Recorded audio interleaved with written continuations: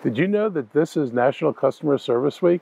I'm Montgomery County Executive Mark Elrich, and I hope you'll join me to thank our employees at Montgomery County Government who provide excellent customer service every day across our diverse county. We thank them and we recognize them for their work.